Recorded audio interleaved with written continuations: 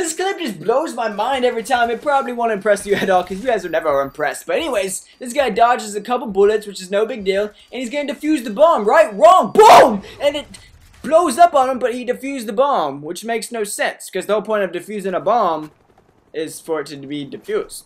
You know what I mean? Anyways, guys, I thought I'd talk about how you guys can submit your clips to my channel. I get a lot of questions about it. So all you basically need to do is upload the video first. Make sure it's kind of funny. It's a big fail. It's just awesome. Or something like that. Upload it to YouTube to your channel. And then send me the YouTube link via message on my channel. It's really that simple. Just send me a message with the link or attach the video. And I'll check it out. If I like it, then I'll post it.